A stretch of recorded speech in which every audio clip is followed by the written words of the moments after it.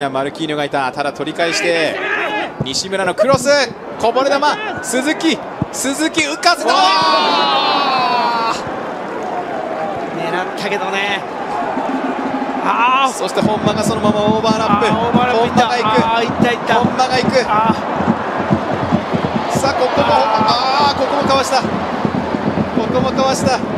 最後は中田浩二一人だけ。さあ本間がそのまま行った。ラストパス時は時はのゴール。ミトセレクションズ再逆転。ー いやー今のはちょっと。あー出ました出ました。これが得意のバック中。パフォーマンス。水戸のファウル